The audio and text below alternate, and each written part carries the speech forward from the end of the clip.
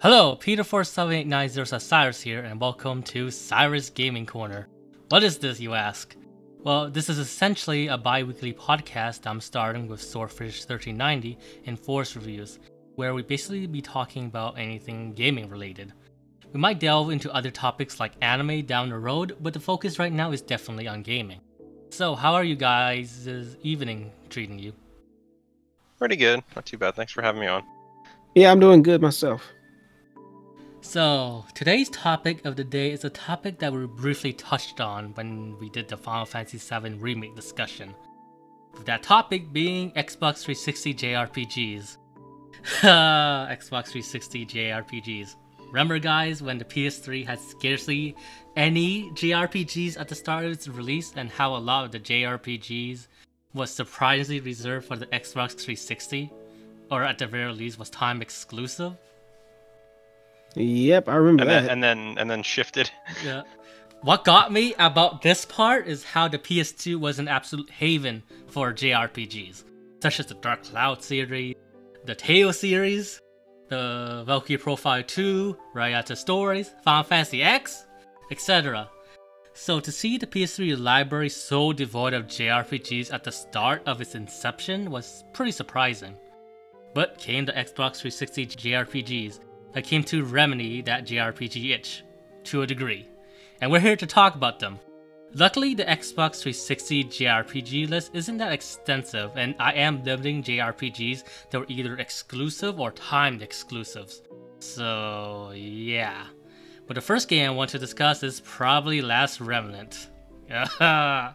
Last Oh. Remnant. Perhaps the oh, that only- game. Perhaps the That only game- Xbox 360 JRPG that's perhaps at two ahead of its time, if only for the fact that you couldn't play the game at a stable enough frame rate when the game first came out. Well, Last actually, Remnant, if you were like me, video game. if you're like me, who had the privilege of installing to the hard drive, it didn't fare much better. Mm-hmm. It's slightly less of a slideshow. But but but let's to be fair, the hard drive install didn't come to way later. So this is way after the fact. Like, I tried the game for a few minutes, saw it play like slideshow, and then quit. I mean, it seemed Do- does interest- What? Do you guys know anyone who's played and beaten that game with with the slideshow frame rate? No, I I haven't. No, I don't know anyone who's beaten it. Period. I remember an article about the game coming to the PS3 and then the developer saying, "Ah, the PS3 can't run the game." And I'm thinking in my head, the Xbox sure can't. I mean, it seemed interesting with how the combat system revolves so, around so many characters. It's basically the, like it reminded me kind of like SRPG with it simulating army combat. But apparently, but that doesn't really matter if you can't run the game now, can you? well, outside of the combat, the game ran okay. Yeah.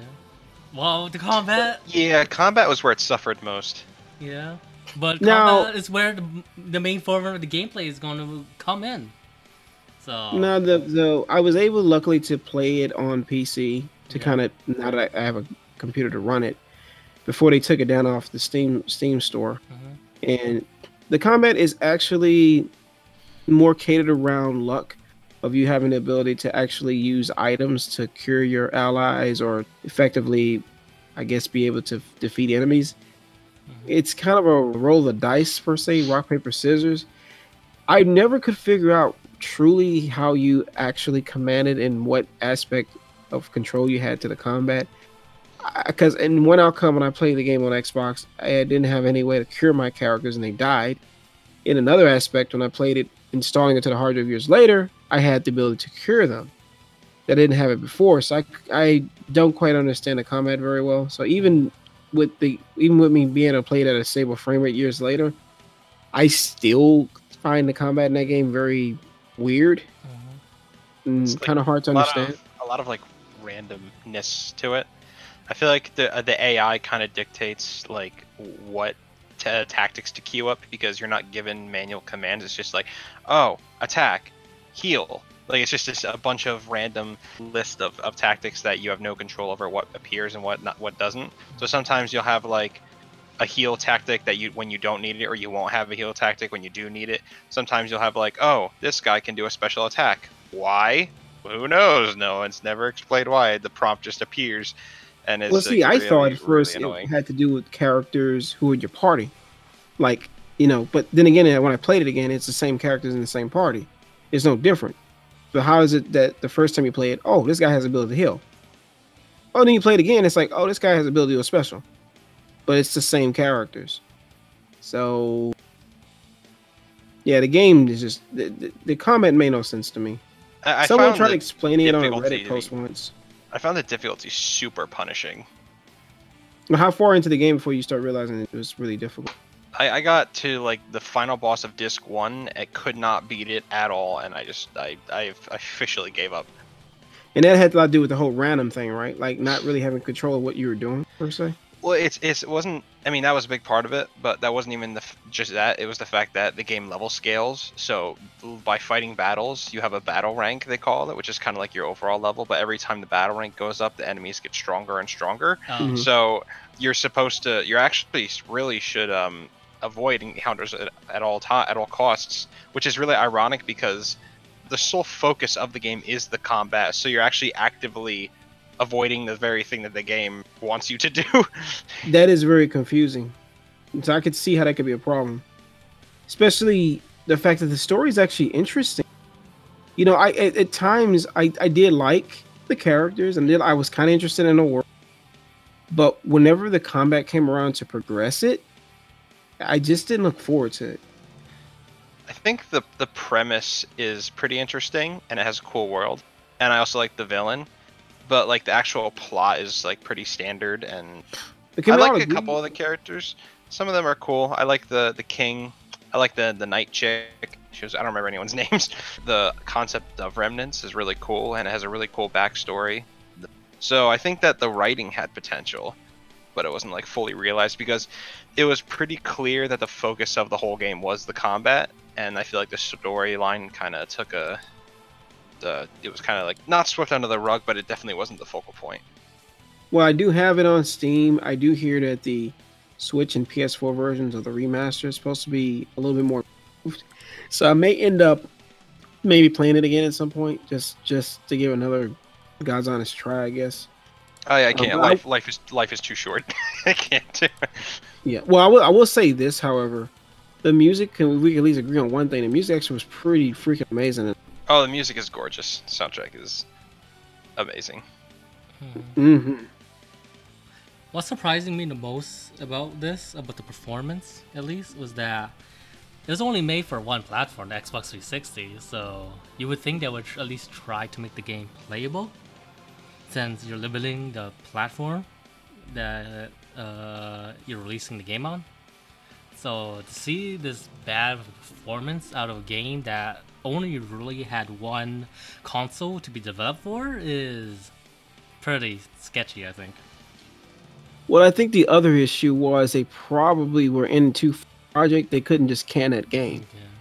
they probably had to just release it as it was. I know the state of it, and that's not that's normally not Square Enix to allow something like that to just kind of get pushed out. You know, they're known for well, I wouldn't. Uh, they're known for having good performing games. I mean, 15 had its issues, Yeah, but, but but it didn't run like a slideshow at least. no, no, it didn't. And also depending which Xbox you had too, believe it or not. For some reason, every Xbox had a different chip. You know, because they had the whole Red Ring issue because they had the Oh my Xenon God, don't- don't- don't processor and they had the they had those other processors and I heard the game ran differently depending on which one you had. Some ran better than others. I don't understand how that makes any sense, but that also played a crucial role into how that game performed. So if you had one that had a newer processor, the game ran better. But that ain't saying much. Don't remind me of the Red Ring, man.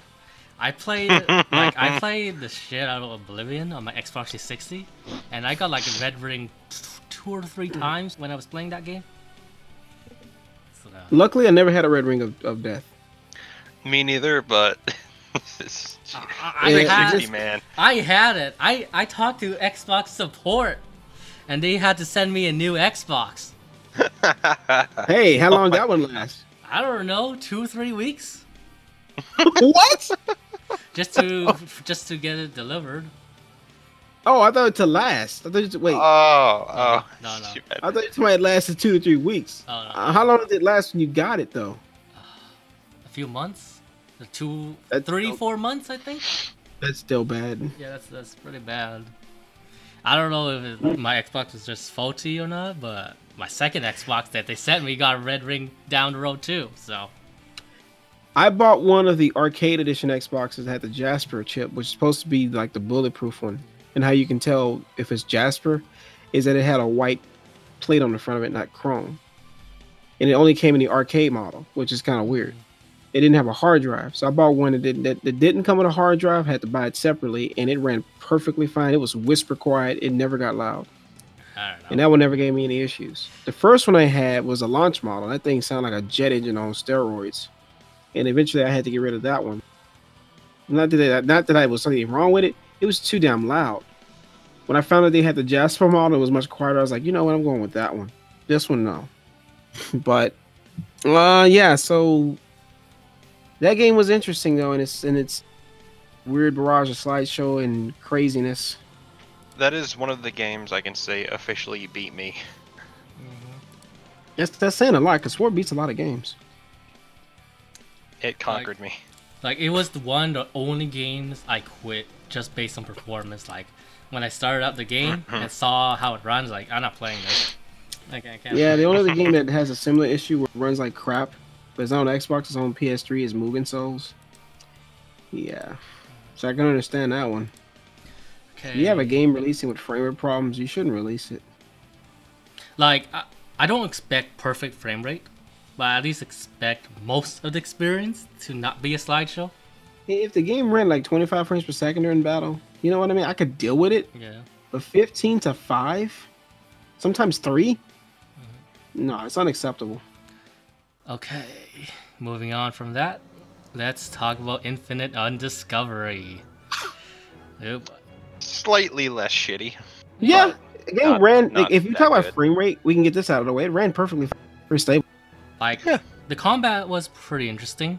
Is really pretty simple, but it is Yeah. interesting how they try to incorporate the combat to blend seamlessly in the overworld. And it did a better job of it than Tales of Zestiria, at least. I will say though, the game had an abundance array of characters. Yeah, it to point, abundance I of think characters. that was one of the game's flaws. At the same time, Well, I, I I would say this: there are certain parts in the game where you're going through like a story section, and then you see what it, the game would prompt you to select like a party, and then once you select your party, what no, it would select let you select party one, party two, party three. And then mm-hmm. once you select your teams, you actually go through the dungeon and you can see the other teams fighting alongside you. I thought that was pretty cool. They Yeah, it's- it's they- cool They don't in really that do. regard, yes. They don't really do anything substantial, but it's at least a cool moment. I can see. yeah, that- no, no, you- you're not wrong. It was there was a cool concept. Mm-hmm. The idea of whoever you played in your party, you get to see them on the field. Yeah. My issue with the game was it, it broke away from you having any attachment to the characters because you had no time to let them evolve and Yeah, there's there's way too. many There's like over a dozen characters in the game. Yeah, There's you- even you- parts you- where I'm you- like, I'll see, I'll see a cutscene. That guy. Who are you again? Yeah, like Well, what was your name? I met you like what, like four hours back in the game, and Or- I where'd you remember. I, you- I remember that part where one character just walked out of the party, mhm. just, but uh, he came back like, uh, who are you again? oh, you were my party before. Oh. yeah. Well, the game had to acknowledge its own mistake. Like the only character I found interesting is probably Sigmund, but then uh, Yeah, he was like the only decent one. but then he uh, let's just say he's not in the plot for long. but even even his history is interesting and how it uh, coincides with Capell is is interesting. Mhm. And I, You know, I think I think Capell got better as he he started off really annoying, but I think he started to get a lot better in the. Yeah, I think he grew but up then, more. but then he got into his emo phase. Hey, hey, hey! You can't be a JRPG game without an emo phase. Yeah, but I think it lasted a bit too long, Yeah. at least to me. Okay, just like before when I and when I said about the last game we talked about, music wise in this game, I thought it was good too. Matter of fact, I enjoyed it. Catchy would- battle theme. Yeah. Uh, I probably get back to the combat because I don't know about you guys, but I thought the combat was a bit too simple for the game. In that you A can A A B A A A B. like it's like Yeah, it wasn't very uh, detailed and evolving. like it's It- it interesting seemed straightforward. how like it's it's kind of fun when you can link uh, special abilities together but too bad Mhm. you don't got too many of those and you can really only use the, the only character you can use is Capell if i remember right Mm, yeah, you don't get to But control this- anyone else, and you only this get again to. falls to- back to what we said earlier.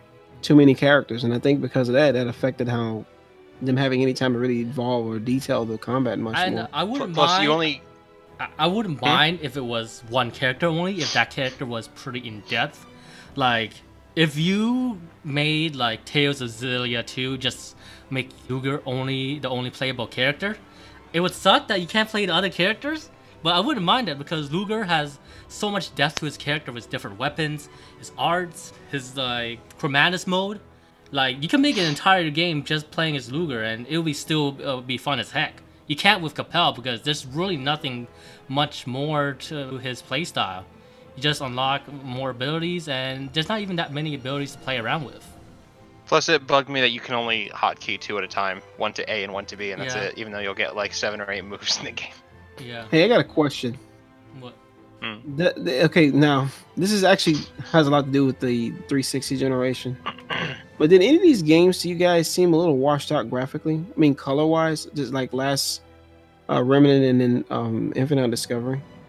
Didn't, it, didn't, Uh, didn't the color palette seem kind of brown and gray? I'll say The Last Remnant, uh, Magna Carta 2 to a degree, and Lost Odyssey and Enchanted Arms felt the most washed out to me. Mm-hmm. So I, I would say this game had a lot of co- a lot of color to it compared to those games.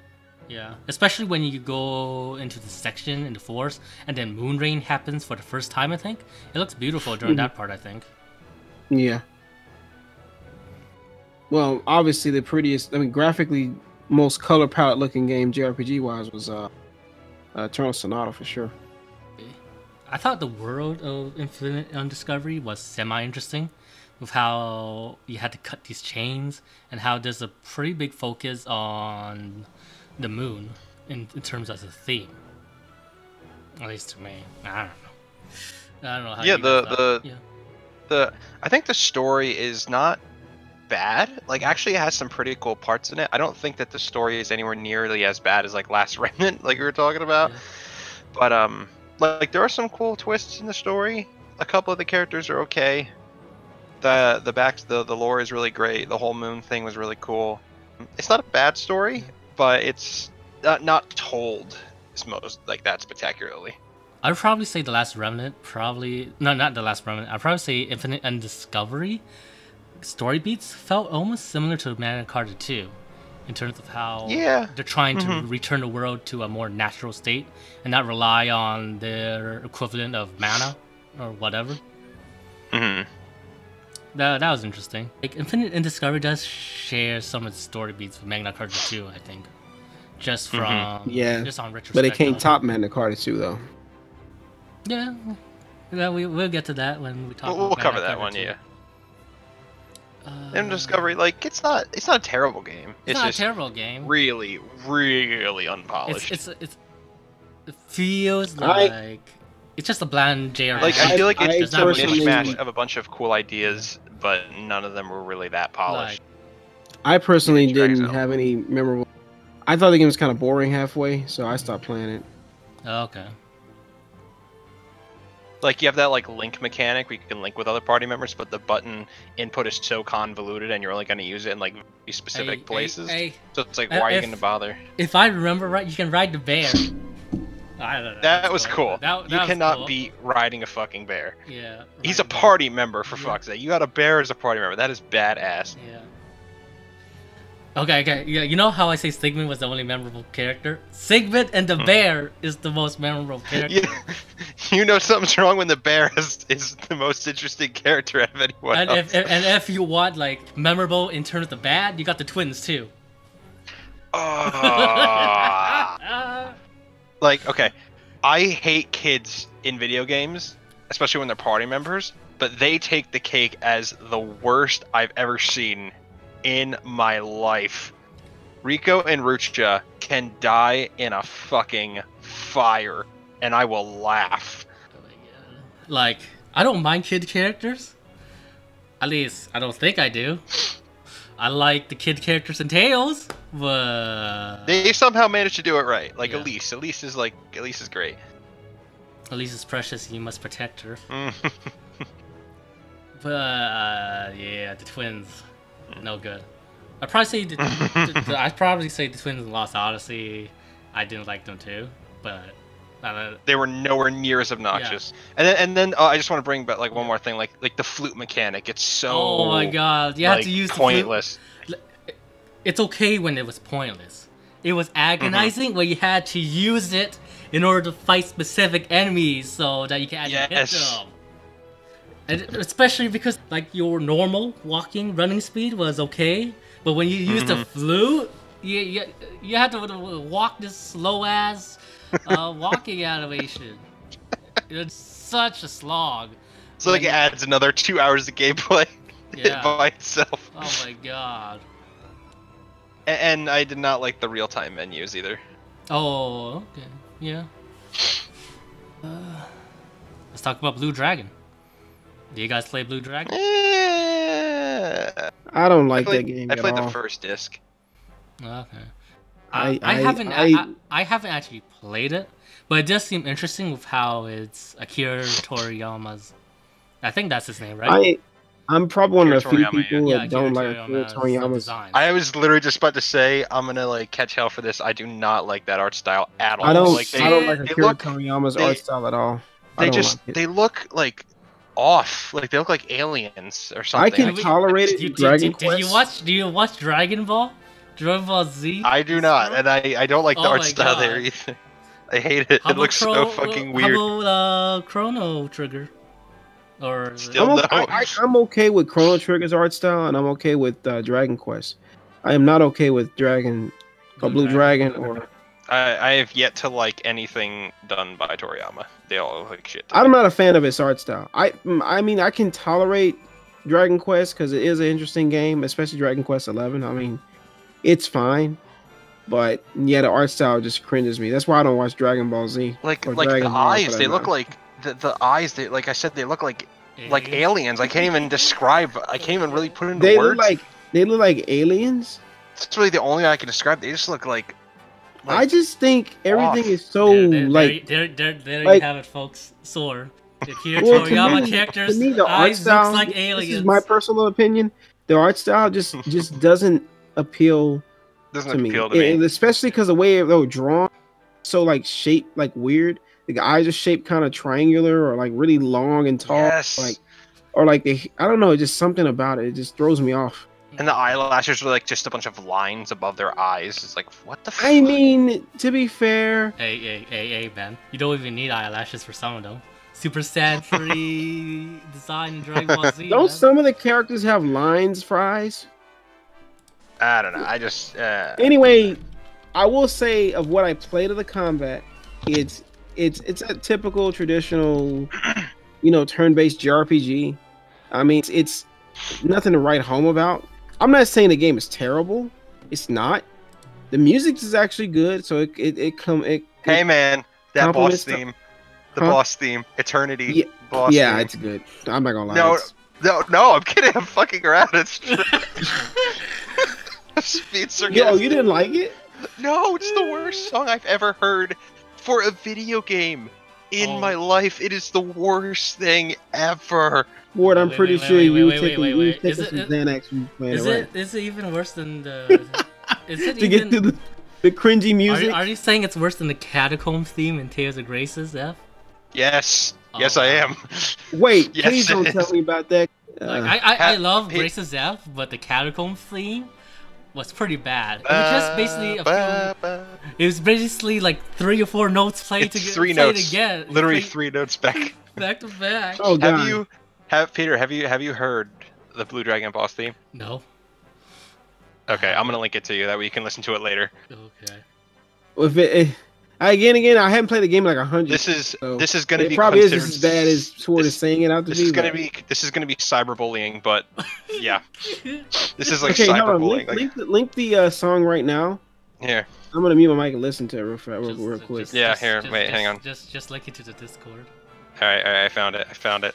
All right. Nah, this can't be that bad. Can it? It can't be as bad as I remember it to be. Are you ready? Or as good as Are I you thought ready? it was. Oh. Here it is. Blue Dragon boss. Blue Dragon's boss theme. Oh my fucking god! I forgot about the vocal. Oh my god! Yeah, that game is trash. Yeah, it's been a long time. Yeah, and that's another thing about that game. It has so many fucking vocal songs. It's ear wrenching.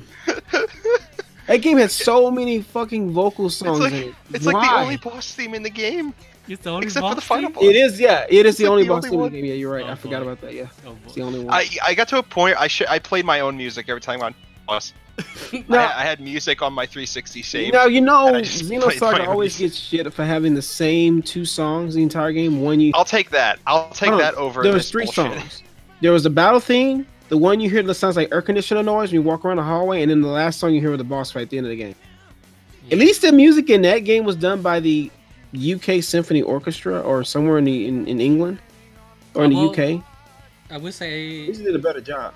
I would say like with Xenosaga, like Elohim music and having no music at all, basically during the exploration part was sort of interesting. In terms of, It I mean, kinda created air atmosphere. Yeah, it makes created sense if atmosphere. you're walking around in a spaceship. It created a I mean. tone, but it Yeah. still kind of just got mundane after a while.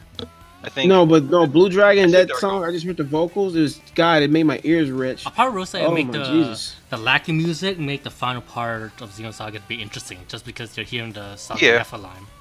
Like, I, I will say this though, it really, really needed a boss theme. It, it just did. That, that battle theme theme? got Xenosaga Episode One really needed a boss theme. Well, that, that to be got fair- so grating. To be fair, that didn't bother me. I know why they were what they were going for. They was going for atmosphere, and I and I honestly, well, the game did have music.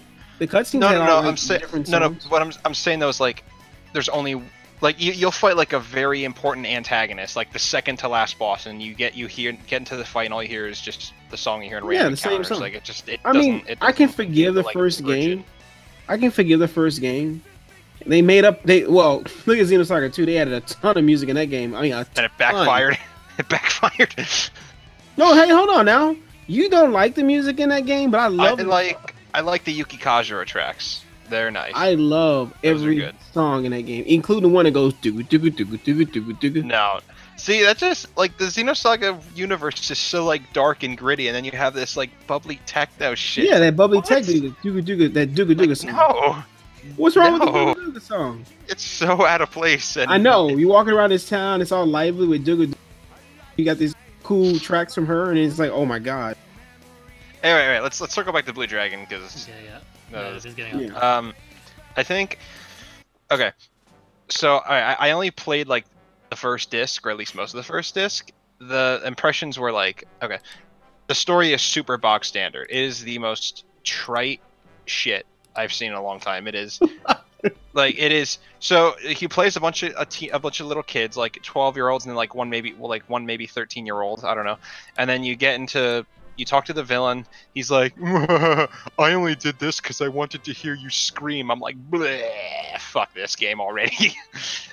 and then it, like it's so. I think uh, the best way to describe the writing, it's like juvenile. The hu- it's got like I shit. It's got poop jokes in it. You fight poop snakes in the game as enemies. You fight turd Hey, swirly hey, that's like a snakes kind of a as mixture enemies of Dragon Dragon Quest there. and they have a spear and they kill you.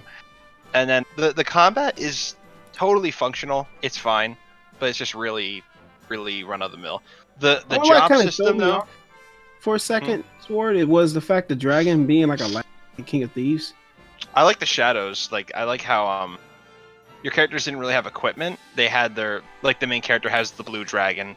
You have a guy who has like a minotaur kind of shadow. They all, and then there was a girl who had like a phoenix. Like Oh that's yeah, really you cool. talking about how the you So, talking about how the, the, the how the how the the So they things like, kind of come in his so body had like a like, shadow uh, form. per- like they had like personas, yeah, kind of Yeah, like yeah, yeah, more or yeah. less. stands. Honestly, that was pretty cool. You don't really see games where you see like the shadow of this like being behind them that that's attacking for them. And then So um the the job system is like it's basically Final Fantasy V but like on crack because there's so much flexibility. You can mix and match different skills from different classes.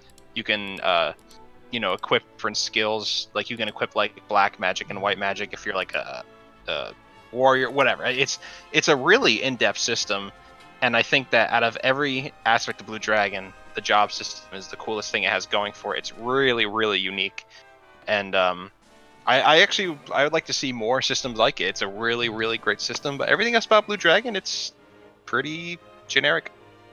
Generic, boring, Pretty- and pretty- like pretty a loaf of bread. It's expired a long time ago. Pretty forgettable.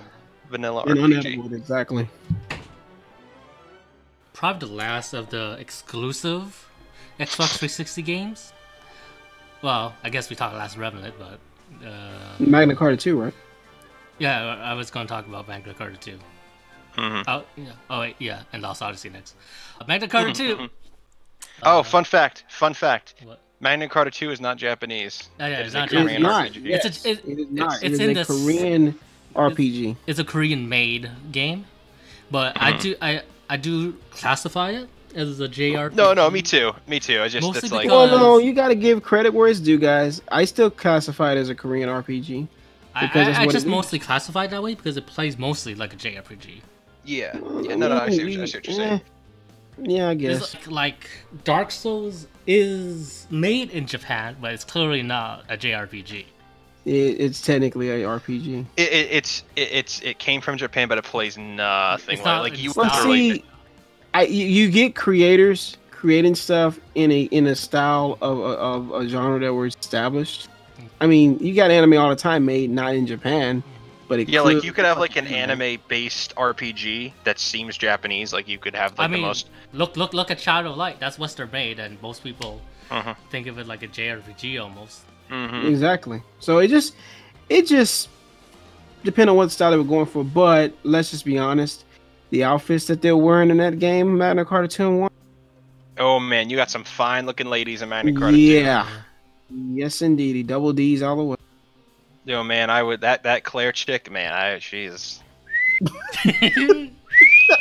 you fucking lingerie wearing hoe. Oh dude, Sign- you guys remember the up. first Magna Carta poster? The first I first remember one, the fucking. I remember. I remember that I sh- I could not tell if the main character was male or female in that Dude, game. that's, that, that was a running joke for the longest time. There's no if the main character is a guy or a girl. Oh my god. it was until I heard his voice. yeah. Jesus Christ. Yeah, it's scary. So, Oh, and by the way, yeah, no, Magna Carta Tears of Blood on PS2. Fuck it, sucks. Yeah, Magna Carta. I mean, I played. Okay, I actually played some more. Well, I know, kind of going off topic of the second game, but this does equate to the second game and why it's so much better. Kind of spoiling that part, but the first game did have some unredeeming qualities to its battle system. It was very slow. Eventually, I got used to how it played, and I enjoyed it.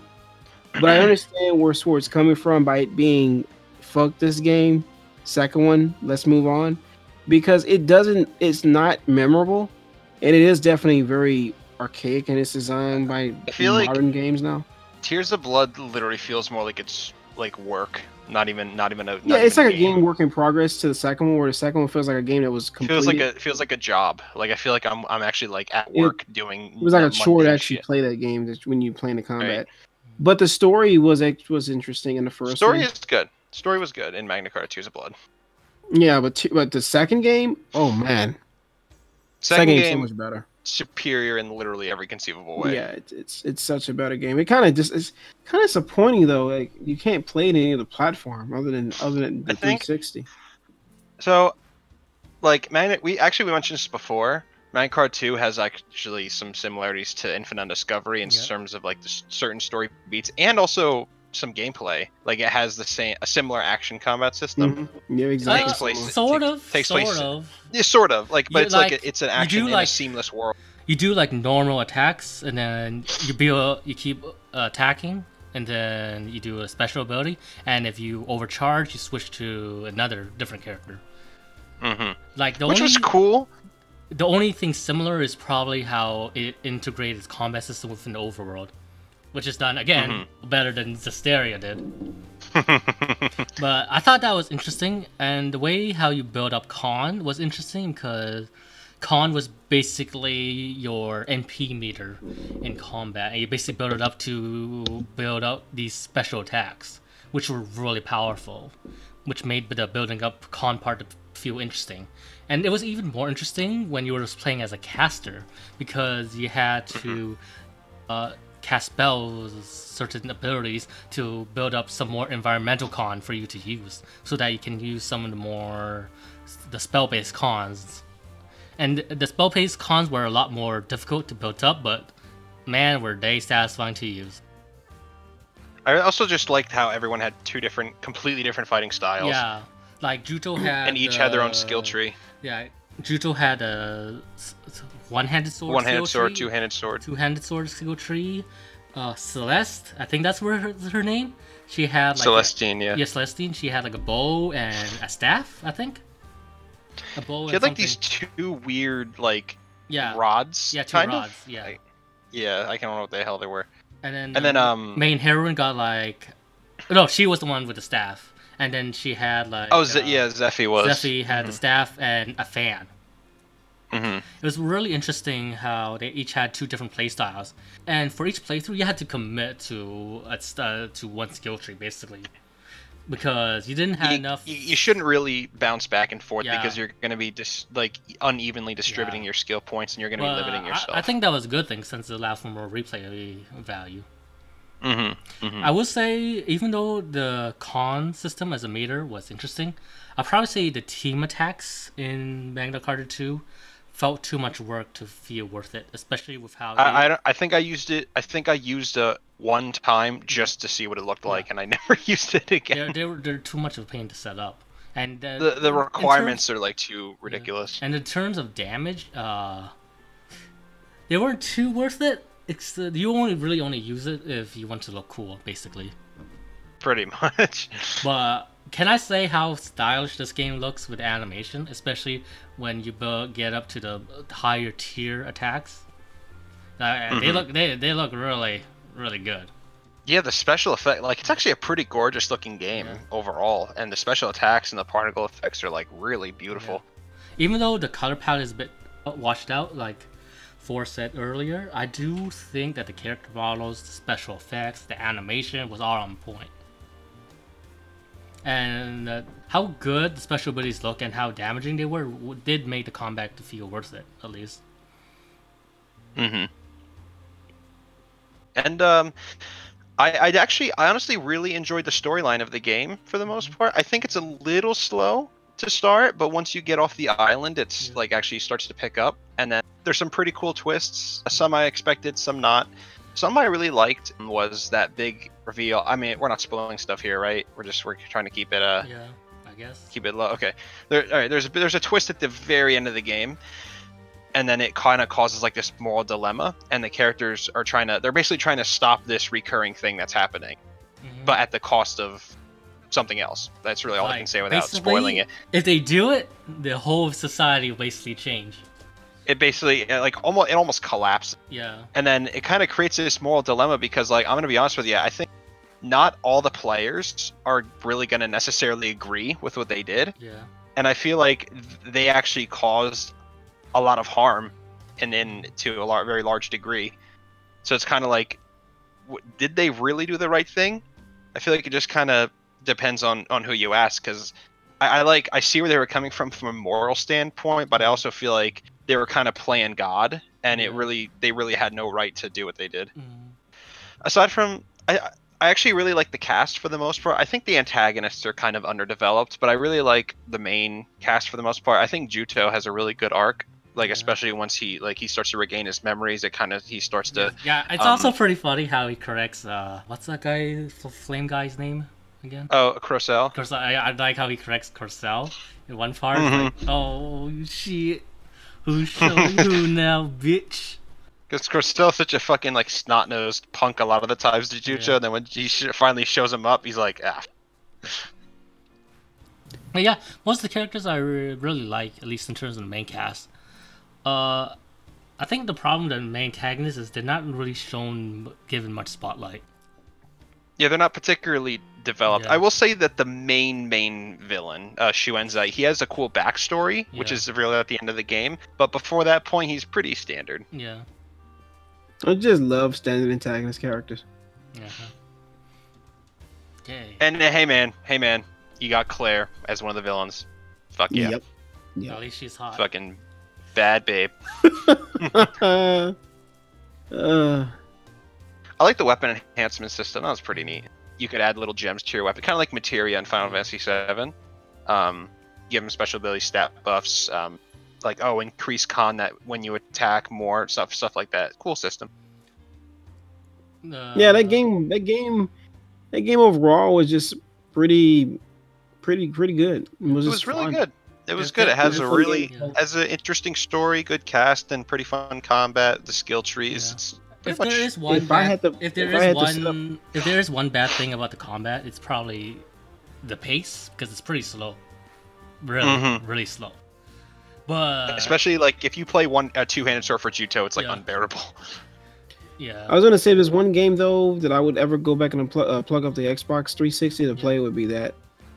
yeah, but Yeah. even though the combat's slow, I do like the combat system. I like how it emphasizes using multiple people just because of the overheat system, and I like the building up Kan part, especially the difference between physical Kan users and magic based Kan users. That made combat really interesting. hmm I think that sometimes, um, from like a presentation standpoint, it can like not uh, falter sometimes, like because it uses the Unreal Engine, so have like a lot of the terrain looks really flat, Yeah. especially like the grass and the water, and then sometimes and like the trees look really bad, like they look like stick figures. I or probably they say it does right have, out. Uh, in terms of another aspect it suffers, it uses like the visual novel aesthetic, kind of, with the character Yeah. talking and text. I'm okay with the visual novel aesthetic. What I wasn't okay with it was watched out graphically. It can look at times browns and grays, or it doesn't have a lot at times. I mean, like the visual novel kind of style doesn't really bother me per se, but like the the the few full motion cutscenes that it does have are so gorgeous that I really wouldn't mind having more of them. What do you guys thought of the music then? Um, solid. It's It I- it had some Sent- good tracks, but Sentinel most of the track. time, it wasn't Sentinel like track. Fucking wasn't- boss. it wasn't like the music to me s- stuck out. It was kind of like it was good, and to the point I don't remember most of it. It you know what I it mean? always like it always did its job. It was there. It's it Yeah. set the tone nice. I did, however, like the main village theme though a lot. I don't know if you heard about the fucking dude Sentinel Sentinel soundtrack. Awesome. Yeah, that was good too. I would say compared to like Last Remnant and uh, Infinite Discovery, this it wouldn't. I wouldn't say it's as say good this- as them. Yeah, I mean, out of the games we've talked about, if I had to pick one that I would play again, it would be Magna Carta 2. And it's not like terribly lengthy. It's like a good 25 30 hour game, so it doesn't overstay its I ne- yeah, I welcome, but it doesn't felt- feel too short. I never felt it overstayed its welcome. But I also feel like there was enough content in it to get my Yeah. money's worth. Yeah, it was enough content that you could pop it in for a couple weekends and have it finished and go to another game. Let's so I talk- think it's pretty much got everything. Yeah. Let's talk about we saying? Lost Odyssey now. Oh, boy. man. Ah, Oh, yeah, that boy. game, that game where we ever get a battle and freaking shows like 20 Most- seconds of most- like uh, most- most- backgrounds before you most get to fight. Most people are probably gonna hate us now, but here we Most go. people adore this game. They're like, "Oh man, guys, this is this is the real Final Fantasy This- 13." this- this- I can't bel I can't tell you how many times I've seen that. Wait, this is the real Final Fantasy 13? yeah, that's That's they what people say. That's what everybody says. But- No, it is not. But it's turn based. It is not man. the real Final Fantasy. It's turn 13. based, so it's good. Yeah, Okay, I can't. It's not okay, a okay, horrible okay, okay, you're just a, you're just a Okay. casual Like, I'm not trying. I'm not not trying to demean people for liking the game, but whenever I hear compliments for its combat system, most people just say it's turn-based. He's like, I, and dude, You know the whole I thing we can list put- I can list so many flaws with the combat, like so many bad design Well, choices. I You're have like, oh, one. it's a it's a I have one that I don't like. When you have to go and attack and you have to push a prompt as you attack them. I mean, is it It just- necessary? it just It felt- tries to well- rip off Legend of what's that game? Legend of.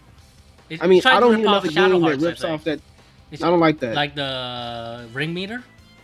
yeah, I don't like Yeah, that like- because if I like, want to the play a thing good is- game that had a good, well, re- here- had a good feature, I'd play uh, Legend of Dragoon. See, that's not even that though. It's It's, like the fact that well, there's a yeah. couple things. First of all, the ring system is made completely obsolete after a certain part of the game because they only apply to your normal attacks. Mhm. That's it. I know, but it was you're gonna you're gonna you're gonna start But at using least like Dragoon, it, it, it, it was it was a necessity. I mean it's bad at in that too, but at least it was more uh, And on top of that, I just feel like I can never nail down the timing that much. Like I feel like I feel like I do it the same every time, and I can never get more than a good rating. I'm like, I do it perfect, and I'll do it the exact same way the second time, and I don't get the perfect. I'm like, what? Yeah, I don't know. It, it made no sense how you're supposed to nail a perfect rating. Unless you upgrade it and make the area bigger, I can, I just can never seem to get the perfect rating, no matter how well I time it. Honestly, I gave up on that rating thing. I just left it alone. Didn't really care. Didn't really care. And, and on I'll- top of that, th- the other thing that makes this, the ring system obsolete is the fact that roughly half the entire party consists of mages who are never going to normal attack at all. So why put in the rings on them anyway in the first place? Yeah, yeah, it's true. It's pointless. They do like two points of damage. and then and uh, I forgot the special abilities on physical attackers have rings on them. I can't remember. hmm They do? Okay. Yeah, that was actually that was the main point of it was that they add uh, abilities to your normal Mhm. attacks, but like it's only for your normal attacks. Yeah. That's I- the thing in RPGs you do when the enemy's about to die. Yeah. Yeah, if, a, if they're about to die in the game, just throw them into a oven. Like, from what I remember, the turn-based combat system, it wasn't bad, but it was pretty vanilla with the ring system added. And even though there's a positioning system, I know, like, it's pretty obvious who you're supposed to position. Your front uh-huh. attackers up front, your mages at back. It never really changes something, I think. I just I didn't feel like it added that like that much Yeah. to the game. Just But felt like it was kind of just there, like, hey There were guys, look, that played in strategy. characters around. I left them as they were because I mean, Like, it didn't phase where they were position they had to be at. Never bothered me either like way. Like, it never felt like uh, the game utilized the positioning system much. Like uh, It was I there, felt like but in it's like you didn't need it. like I think the Atelier games, uh, some of its turn-based combat system utilize a positioning system better than Lost Odyssey did. Heck, even Crosshair's used it better. And the thing too that I take issue with is just the fact that like this real rarely ever works except with a few exceptions. But I just don't like how the combat doesn't actually take place until you select all of your actions, Mhm. so you can't predict like when a character is going to go when. So it's like Oh, if you toss a healing spell. You'll never know when that character is going to heal, and then plus they have the interruption wait. system where a mage I- will I- get hit I can't remember when they're this- casting. Does this game? This game doesn't have a turn list, does it? You actually it does, but not until after you select all of your actions. Oh, so what's useless the then. point? It's- What's the point of having it? It's it's uh, it means nothing. That gate that that list means nothing after you select all your actions. I'll probably say this. There are two good points to Lost Odyssey for me. The music, except for the final boss theme, probably, and the sh- the short stories. The short stories are really good. They basically they're mostly put in the perspective of Kaim, the main character, but there are some with other perspectives. And I each of these short stories are emotionally charged. They basically tell the story of this immortal who's basically traveled around the world, telling you the story of the many hardships, heartaches, and adventures he's been through throughout the ages. And these are the most interesting part of Kaim, really, because main story Kaim is pretty dull because surprise, he has amnesia. So all that wor- so all that worldly experience, his experience with Findy's short stories doesn't mean jack shit until he gains them back. The The thing sad, is, it's the like sad part can- about all the whole amnesia stuff. Well, the thing is, like, you can tell it's so obvious that the main story and the things were written by different people. Yeah, It's like night and day. yeah. The short stories, they're beautiful written. They're mostly charged. They're interesting. The scenarios is just heartbreaking sometimes, or like really nerve wracking in uh, in others. Like I still remember the Hana, the Hana short stories, uh, the one where he's in a prison. I can remember a lot of the short stories in Lost Odyssey, but I can't remember the main story in Lost Odyssey at all. Well, no, Like, the it's thing, the thing is, it's literally just stop the bad guy Yeah. from start to finish. Stop the bad guy. it- He's- that's all it is. You're just chasing down the bad guy. You get into the bad guy, and that's it. You know what that also reminded me of? Uh, it reminded me of Eternal Sonata because it does something similar with the whole like backstory thing. Except obviously this has a lot to do with the character being amnesia. The other one was not amnesia. This was, but you don't really see very many JRPGs do that sort of like backstory thing very often. Very often, very seldom you do. Um, See, like- I would say I like the setting and the style of the game, like the whole like that beginning battle you get into at first. I mean, I The, thought oh, it the first scene, the first scene is like the most memorable part of the main story. That, yeah, that, it's, that, it's like that, it's it really. that battle transition from the opening to the first ba- tutorial battle was really cool. Mhm. Yeah, I mean, you you you, you got to give credit where it's due. I mean, they they definitely give you a good introduction to one of you. Like, oh man, this game looks gonna be awesome, and then and then after that, the game gets slow, and yeah, And, and the thing too is like, I, I feel like the cast of characters is like all the characters are mostly just ripped right out of other Final Fantasy. Like, like yeah, yes, yes, I know Sakaguchi made it. Yeah, that's not an excuse to just copy and paste old Final Fantasy characters and reskin them and then put them in this. at least he tried to make something different and unique. I mean, I mean, I'm not saying like would I say I didn't like the game. I wouldn't say I didn't like it. I would say it's a game I would never go back to because I didn't have that much fun with it. Like it the was game kind has average to the game average. has a fucking Cid in it, like the Final Fantasy VII Cid, like verbatim, Oh my god. the same fucking character. Talk Yeah, like about no differences. yeah, you're talking about the old man, right? Yeah, he's like what ninety nine point nine percent identical to this Final Fantasy Yeah. VII If you literally incarnation. just change every word and then added Cid for his name, it would fit perfectly. and and uh fucking Cooke and Mack. Oh, Fuck them to hell. Shit. Oh my god. Okay, Cooking Mac. they're not as What kind of bad. name is? They're not as bad as the Infinite Undiscovery twins, but like they suck. they still suck. You know, you gotta have twins that annoy the hell out of you. I'll probably say the only touching scene that you have with Cooke and Mack doesn't even re- involve Cooke and Mack. It revolves around their mother reuniting with Yeah. with Kai, who turns in fact their grandfather. I think. So yeah. yeah. You, mhm. But I'll probably even more I, I- strange I- about I- the whole I would thing. probably add this that the reunion with Kaim and his daughter is another good thing in the game. I think the game did pretty well. That was really that was really touching. Yeah. like I don't think that the main story is bad, and I do think it has its moments, but it's just like, Like, been there, if- done when- that when- when- RPG.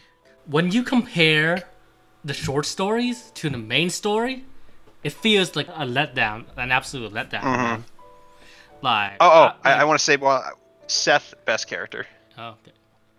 Yeah, she, seemed, she seemed cool, from what I remember. Yeah, Mm-hmm. Yeah, it's like I, But- it's just like the writing quality from the short stories to the main story was the most darn thing for me, because I said Whenever- before, it's literally like night and day. Yeah, whenever I read the- any of the short stories, I was totally invested. I was totally reading through, getting invested in the story, feeling emotions and all that. And then the main story is like, yada yada. Like vanilla. Yeah. And like I don't know, I just like I I I really like it when games have like antagonists that are like fleshed out and have their own. This guy is literal like fucking mustache twirler.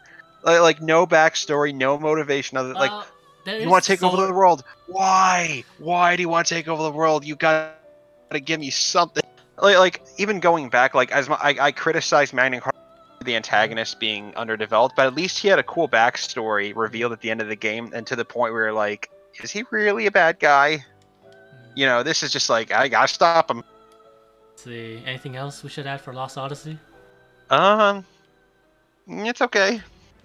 Oh, fine. I, I remember, like, uh, the way you learn abilities uh, in a game as an immortal was pretty annoying, I think. I, I like the idea that like the immortals are more customizable. Yeah. whereas the mortals are kind of just like they develop as they go. But even then, it's like there's not that much freedom, at least compared to like Blue Dragon, Yeah. where like for example, your immortal mages are always going to be mages. You cannot make Yeah. them warriors. Yeah, You cannot, and you Like, cannot make your warriors any, tanks. There's no, there's not even a point in learning like uh, these extra abilities if it goes against the archetype that the character is trying to go for gameplay wise. Like, like for example, I, I like I'm one who always likes to try to put healing abilities on every character that I can.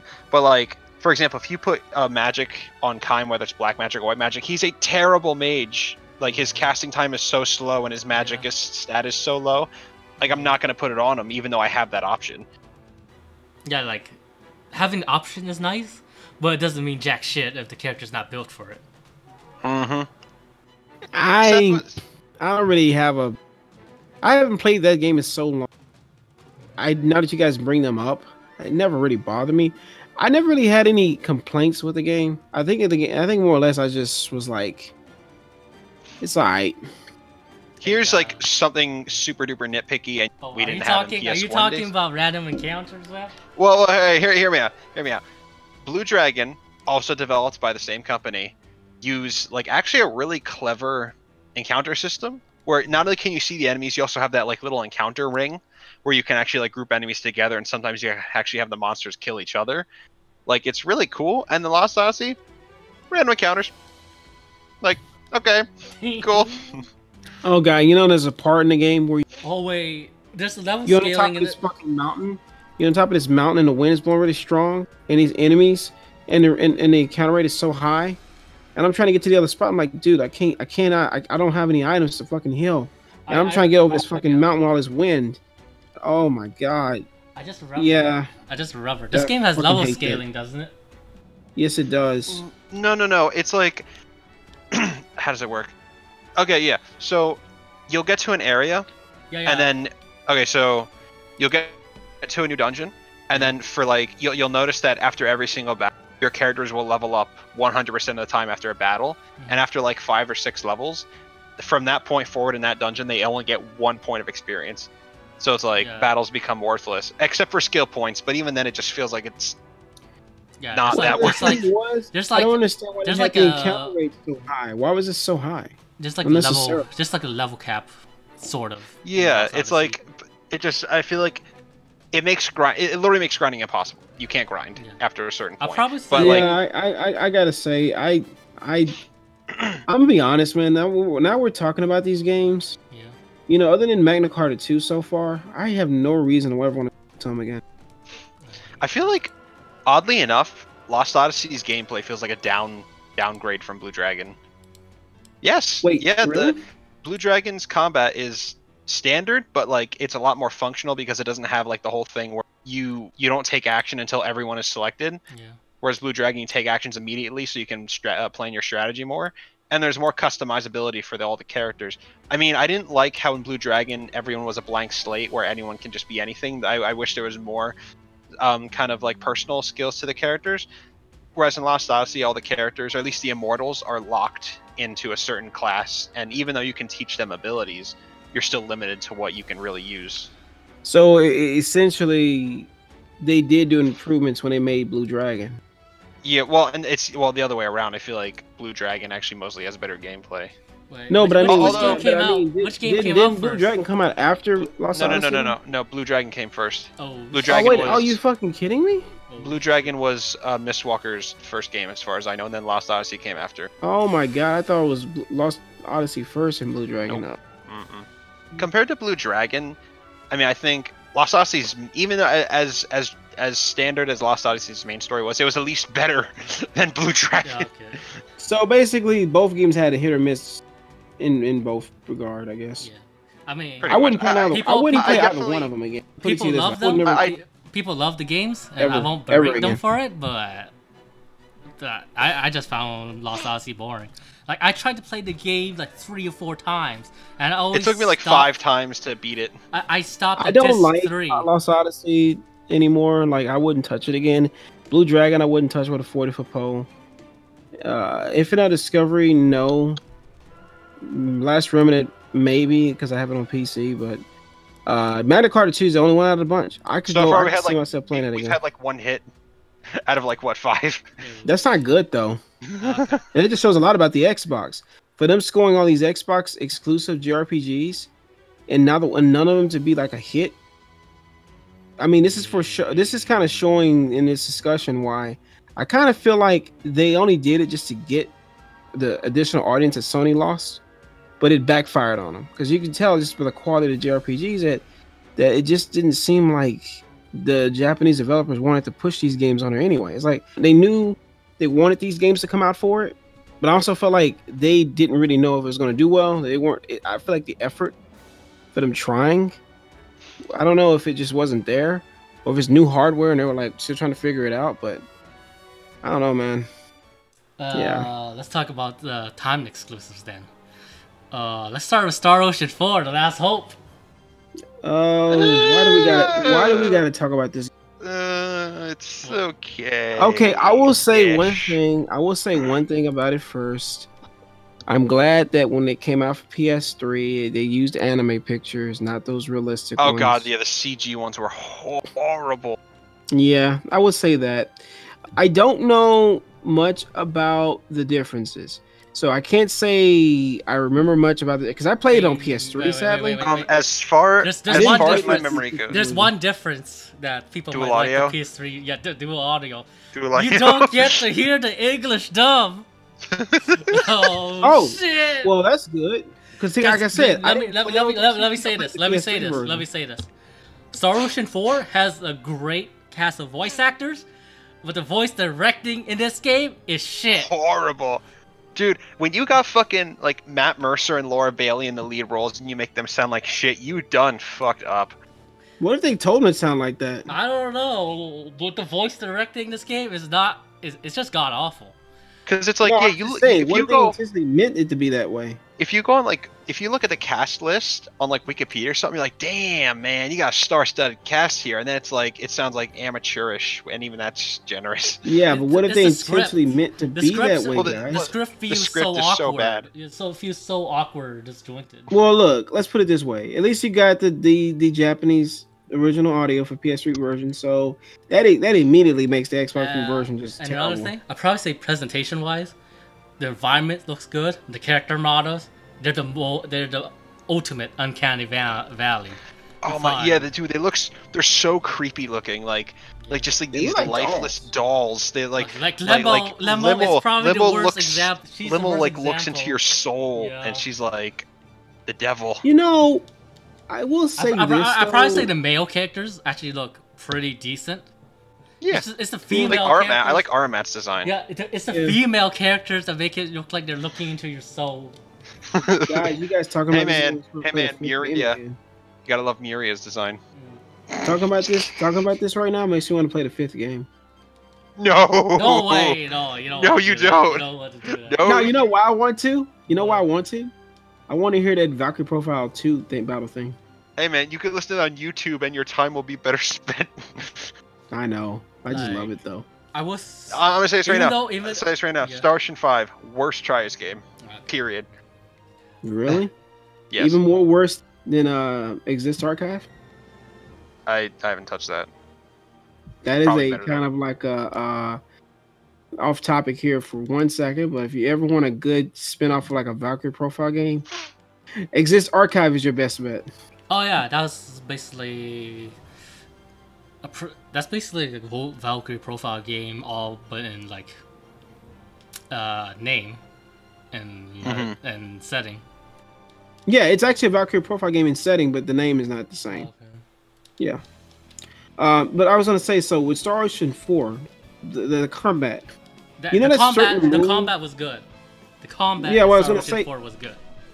Yeah, I was gonna say though the combat about well, one of the things in the combat that I liked about that game was the whole sidestepping mechanic. Yeah, you know where blind- you go around and you attack enemies. from behind. Blindsiding enemies was really cool. When I figured out how to use that move in that game, I love I love the combat in that game afterwards. I, I had a I had a blast playing that game.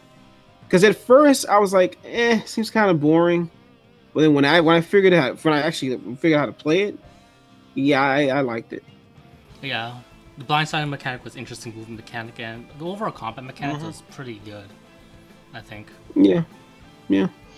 Um, I didn't like how you had like capacity points to how many special attacks you could equip because I feel like it kind of limits your combos.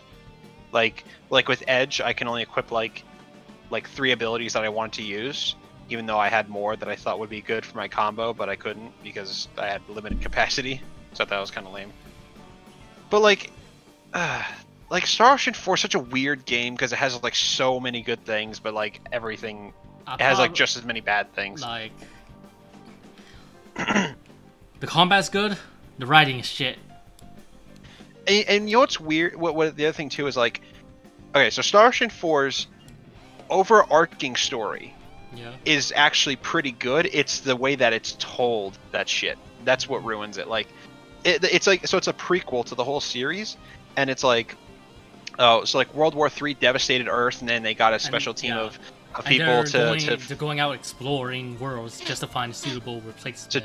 to, to, for to colonize a new yeah, a new planet. a new Earth. I mean, it's so generic. It's so generic. Like- it's like, Like like no no, I think the premise is really Yeah. cool, but And I do like. here's I the problem. Didn't they use that premise before in like other games? I mean Oh. maybe Wasn't like Star Ocean Three similar? No No, Star Wait, Trek. it was- Oh it my was in a game Star mode Wars three in the ending. Oh my Well, no, we all know about the ending. We, we know about that. I'm just saying, but wasn't like the idea of like you go out and explore? No, I no, don't not know, Star no. Ocean Three. So Star Ocean Mm-mm. three started you as a civilian, didn't it? Yeah, you start off on a you're you're playing like a normal Yeah. kid. You're on a on a resort planet, it gets attacked, you fly, you get into an escape No. pod, you fly away, you crash land, and blah blah Yeah. blah blah. But It- it, has nothing to do with like it- uh In Star Ocean 4, you basically start out as like an official staff, just trying to find suitable planets to colonize. And I do like how there's an event in the game that makes you question how much interference that main character should do. Because his uh, his interference in one planet didn't go so well. See, oh man, that that's something that I think the game, as as bad and and flawed as the writing is, that's Yeah. actually something I think the game did right. Was that that little arc, and, and this is something that like really frustrates me about like the players Yeah. is like uh, I'm not gonna say what happens, but like the main character Edge like goes into like this deep depression, and I feel Just- like anyone who's not a total sociopath would at least have even half of that reaction. Yeah. Like you got to be one heartless, soulless motherfucker to just be like, eh, nah, all right, whatever. I do, I, I do think people are a bit too callous in terms of saying, "Oh, Edge is just a giant baby," especially since it involves an alternate version of his home and what happened to it. yeah, they they call him baby, crybaby, emo. I'm like, like come on, man, put yourself in his shoes. But I will say that the directing, the, directing in that breakdown wasn't the best. pretty pretty bad. Yeah, pretty bad. So. like and, and okay so and, and the cast is not not particularly okay there's a few good characters. I like a couple of them. Edge is okay. Edge is fine. And his his friend Reimi is also okay. Armat is okay. Faize is okay. But it's mostly Lymle Meracle and sarah. They Oh my God. suck. Sarah, Sarah sarah's the worst. Beyond, i think Sarah, Sarah goes beyond just being an airhead. She's, like she's flat bra- out she's just brain she's like she's just brain She's dead. like, She's I was about to brain dead. I just her voice is totally so. Oh my god, this the way I talk. She's like like, a she's the chipmunk most- on helium. She's still In both languages, in both language Oh tracks, god, don't do that like voice again. she's, she's, she's, she's the most brain dead character I've seen. Not, not, not, not, not only in JRPGs, but in anime, in the anime too. I can't think. Of, And you know, look, that's look, that, I- I know that we- doesn't leave a lot of impression on. It really I, I know, doesn't. I know, we haven't gotten to it yet, so I don't want to jump the gun too much. But as stupid as the main character of Enchanted Arms is, like he, he looks like fucking Einstein compared to Sarah. yeah. And Atsuma doesn't even know what a ladder is, and Sarah's still more stupid. Why would they put that in the game if someone doesn't know what a ladder is? Was that It- even it, necessary? It was just a, yeah, it's just a tutorial too. A Well, I tutorial. know that, but if they Yeah. could have went about it a different way, it's like, oh, What what, is you that? do with a ladder? Oh, you push this to go up a ladder. I'm like, uh, and then and then after it's like, hey, do you want to hear that again? I'm like, no, I don't want to hear how stupid you are or how stupid I am. That's literally how I would put it.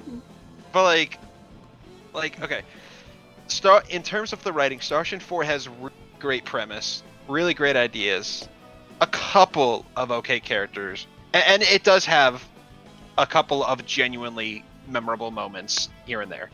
And I'll Oh, add in like I typically oh, do with every game we've talked about so far, music wise. I thought It's it was rocking. okay. Yeah, it's rocking. Yeah, it's definitely one of Motoi Sakura's better. I, I Better said work. this before in the video, but in terms of Star Ocean, Motoi Sakuraba is like on his A game. Yeah, like his Tales tracks like mostly Oh, suck, but Star Ocean is like I would say this though. It feels I would bad. say this though. Star Ocean feels one and bad, two will always be It feels just bad to see uh, the they just seem Tales. like better games. Yeah. Feels so bad to see Tales being treated this way by Sakura.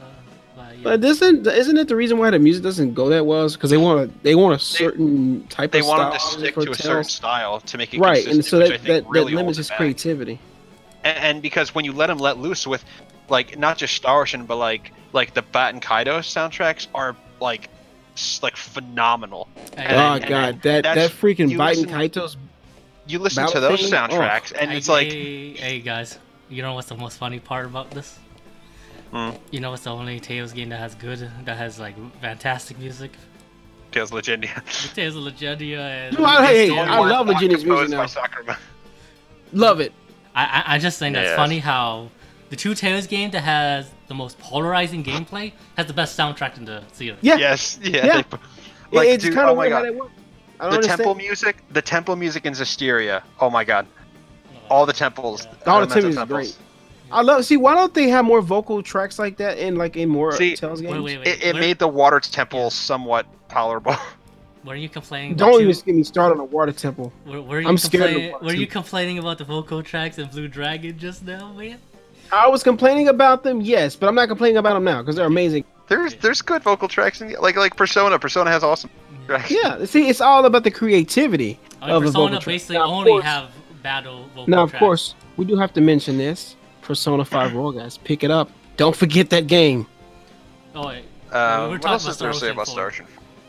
I I also like how this is like the only Star Ocean game where you can actually like go to different planets Oh, at will. Oh, yeah. Like you like you're actually the captain of a ship, and you can go to different planets. Like yeah. every other Star Ocean game, you're stuck on a fucking backwater planet, and the sci-fi element feels more like of a like a gimmick in the in the story, like a storytelling device. Whereas in Star Ocean 4, it actually feels like I'm exploring the galaxy. You know, that was actually kind of interesting. Why is that? I always felt like, oh, we're going to these cool places, but yet we go to this planet that's like, okay. Like in Ocean Um, 3, you're stuck on a medieval planet for like 80% of the game. A- Yep. And the sci-fi is like like swept under the rug. A- And, that's the that appeal of exactly? Star Ocean. Even in Star I don't Ocean know. 5 is the same way. Star Ocean 5 is like Star Ocean 5 is more of like a first contact kind of thing, but it's still just really box standard fantasy RPG. And then sometimes you'll go to like a lab, like a abandoned lab with high tech in it, and that's that's about it. That's Thank- all you ever get. Thank God, man, they only make one Star Ocean game every generation. Like so, if anything, like I think that was something Star Ocean 4 really had going. Star Ocean 4 is not a bad game. It's yeah, got a lot of warts. Xbox though, since we are since since mentioning this, I would say this is kind of where what killed any JRPGs going forward with the multi time exclusive thing. Because once the versions came out that were better, particularly with Eternal Sonata had a similar thing where it had original Xbox release, and then this game here, when he added the whole dual voice track and then the anime style uh, option, I mean, it was no point in going back to the Xbox version. The Xbox version performed just as similar to the PS3 version. They, they, there was no performance issues there. So if you if you just had to save on a budget at the time, even if like spending the money, you weren't really missing anything. But if you definitely wanted the, Japanese audio, then it was no it was a no brainer to get the PS3 version. I mean, it just made sense. I think at the end of the day, the best way to describe it is Star 4 has a good story, but very, very mishandled. Very mishandled. But it did Uh, have a lot of faith in it. Mostly, sh- yeah, mostly shitty cast with a couple of good ones and a pretty rocking combat system. I would guess say let- let's talk about integrity. Eternal Sonata, man. Eternal Sonata, Uh, the the visuals, like it's just beautiful in that game. I think. oh yeah, Uh, the music, great. Story, that's that's another that's another Motoi Sakuraba track soundtrack that was like excellent. story and characters, eh. Yeah, take it to leave it. The I probably say the most funny part about the story and character is that Eternal Sonata probably has the longest death scene I've seen ever. yeah. I know what you're talking about. when you It just, just goes when like you just, fucking die, already. Hey, you know what? That it. death scene had a lot of impact. Don't you guys talk? Yeah. I know it, It- took like it- 25 minutes for the person to die. Uh, Still.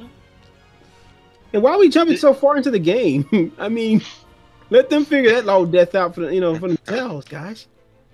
And I, I think the combat is pretty cool, especially how it evolves like throughout the course. I of the love how it evolves over time. Each chapter they add more like I do think it's interesting how your moveset changes if you're in shadow or in light. But here's what's cool. This this this is a, this is something very important we have to before we forget. The 360 version of Eternal Sonata was dirt easy because you literally had items that that you picked up that you could use depending on if you were in a shadow or light area. I never once used any of those items. I literally just breezed through the whole game, never having to use a single item the entire time. Until I played the PS3 oh version. yeah, that's the most funny part. Yeah, I remember the I remember the PS3. PS3 version being a lot. Yeah, the Dude, it's so hard. I got to that guy is on the bridge and I can't get past him. If- if- Literally uh, to this day, if I you- still have not passed that guy. If you don't know how to block, you're not going to play the game. Basically. yeah, Yeah, you have to block. You you didn't have to do that in the 360 version. Blocking wasn't was not important. But then, but the PS3 version is like you didn't learn how to block. yeah, you should. uh, I mean, I feel like there's kind of not like, in terms of the story, I feel like those writers do- were smoking some fierce. Yeah, I That do thing. think it's Well, interesting- actually, it was based on Fre- Frederick Chopin's Yeah. actual Yeah, it, memory. It's, It wasn't like a it's made like- up thing. how, how the games were is basically a dream.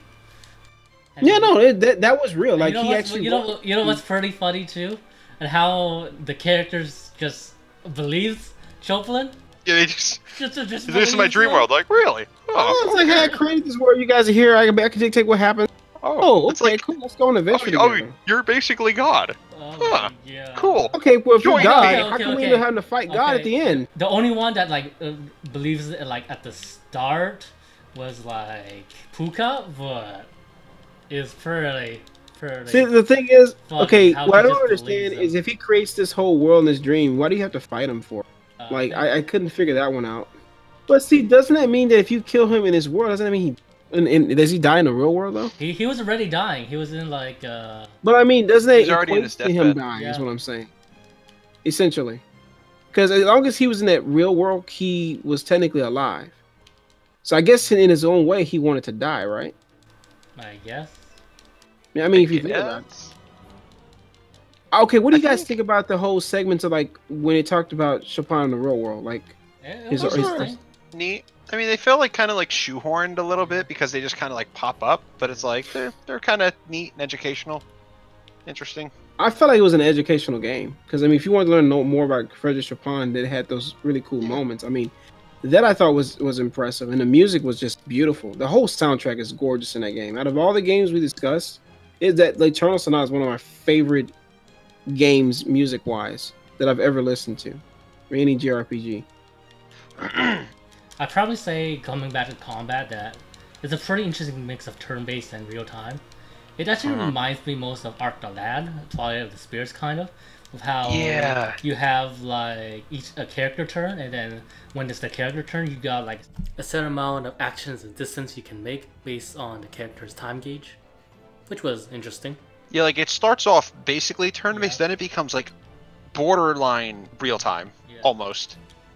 You're still taking turns, but you're moving about in real time and acting in real Yeah. time. Uh, I think, um, so this is kind of nitpicky of me, but I just don't like how there's not really much customization for the characters. It's just kind of like you're just kind of handed everything as you go. The only thing that you can really customize is your equipment. Yeah. So it can felt a little underwhelming, kind of linear. I'd probably say that the Archer Girl is probably the most powerful character in the game, gameplay wise. Oh, yeah, Viola. Yeah, she was crazy OP. Just, just keep, just, just keep shooting the, the bull, man. Just keep shooting them. Be like and uh, I forgot what his name was. There was Viola? yeah, there was that guy with the humongous sword too. He was Yeah. pretty strong. He had like a like a Sephiroth sword. Mhm. I, I feel like it's weird. I just feel like I don't really have much to say other than that it's just kind of a pretty straightforward RPG. Like if you, I- I if- I'm if- really if- honest. if- if don't all know this- what to say. games, Eternal Sonata really Yeah. It's like the it's That- like really kind of unremarkable when you sit down and dissect it. it's there's nothing really going for. The characters remember the music was good. The the whole um like sections where you talk about history of Frederick Chopin was eh. I'd probably say that whatever, if this game, if this game didn't take place in the dream world, it just seemed like a typical JRPG. Yeah, with I don't know. It's, with them having I never take thought about it. I, With them having to take Yeah, I down never- the monarch, the evil Mhm. monarch. I, I just feel like I, I never really sat down and analyzed it much until now, but I feel like I just don't have really anything else to say. And s- I guess the final game is uh, Enchanted Arms. that, and then we also got Tales of Vesperia. Oh yeah, Tales of Vesperia. We'll, we'll save that for last. yeah, say that for last. Enchanted Arms, uh, pretty good. Yeah, Not- I liked Not, the not game. amazing. I thought it was fun. okay. It's fine. It's Yeah. pretty good. Solid. That's a. It's funny though because, yeah, Atsuma is borderline retarded. He's bored. He's not brain dead like Sarah from Star Ocean 4, but he's pretty bad. Yeah. But he um okay now I haven't played this game in a, many many years. Um, going off of memory, he actually does mature quite a bit. He actually becomes a pretty capable character later in the game. He starts to he does grow. I think he does mature. Uh, so he starts off pretty insufferable, but I think it gets better. There Um, was two differences between both the PS3 version of Enchanters and the 360 version. One had the, PS3 ability version to. golems. Hold on, let me let me read the back of my case because the difference I believe was one of them had the ability uh, the ability to uh, dance thing segment in the game, and one didn't have. I remember correctly. I believe the PS3 version actually didn't have the dancing segment. No, the 360 version didn't have that. The PS3 version did. Oh yeah, I'd solve puzzles and unleash attacks using the Sixaxis. Uh, I'll probably say the combat system probably had a better positioning system than Lost Odyssey did. Yeah, the grid system was pretty good. Yeah, You know, I thought the combat was fun. I never thought the game was boring in that sense, but I did. I did notice the game used a lot, reused a lot of NPCs for the same area. Like it didn't have yeah, a, like, palette swaps. yeah, I don't, I, didn't don't like remember much of the combat, but I do remember liking it. Yeah, I I, think- like the game. I think one of the coolest parts of the game, despite it not being handled that well, is I really, really loved the golems. I think they were designed so cool. They were, but the problem is that you can't customize them at all, and you're just not going to use them. You're going to use the four human characters. You can't change their skills. You can't learn new skills. They're just kind of like meat shields. Yeah, They're that's cool true. to look at. They're cool to look at, uh, but you're never going to use them. There's literally no point in using them. You know, thinking about talk, uh, thinking about this game, that's actually another game I want to go back and play against Enchanted Arms because the last time I touched that game was during the launch of the 360. That was God a long time ago. Mhm. And I never Um, really played the PS3 version all the way through because I mean, at the time I think it was other games coming out. I was just like, eh. I, I, Like I'm Enchanted surprised. Arms. I'm surprised this Huh? game even had like a, uh re-release. Yeah. Oh, you're it's talking about being re-released for the PS3? Yeah, yeah, I'm kind of surprised by that too. Yeah. But to be honest, though, uh, I, I think you know who actually published it. You know, Ubisoft, man. Ubisoft, they'll publish everything, re-republish it again, so that doesn't surprise me too much. Oh yeah, Enchanted Arms. Uh, not that memorable of a game, but Not that pretty memorable, it's not terrible. It was alright. Yeah, it was one of Um, games. I, I just I don't remember the story much because it's like I said it's been like I almost just, ten years I, since this I is played what it. this is what I just remembered.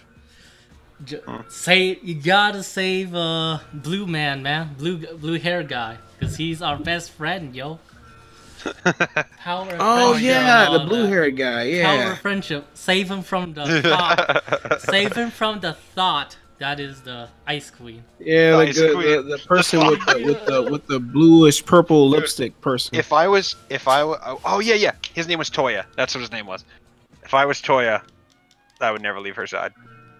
You know, I'm looking at it now, man, and I- I'm I'm I'm reading what it says on the back, and I want to think it says epic scale storytelling by Hardcore Game Magazine. Yeah, sure. See, I just I Sure, haven't had an played it in epic scale so tour. Yeah, I just don't remember much of what happens. I really wish I had. it's been a long time, man. Like, to it's one of the things. That game, I don't remember much about the story. I do Uh, it's remember. I been do like- remember having some fun with it. Was been it like you start in the game for like you're in a carnival or something? Like you're going Yeah, around you- talking? Oh So you in yeah. start and off. You start off at like school. Yeah, there's and then, school like, there's, like, a I think. festival. Yeah, there's a School Yeah, festival. school yeah. festival, and then you're trying to ditch class, and then and shit goes down there. And then Yeah. go into this restricted area, and then I think Atsuma awakens the Ice Queen or something.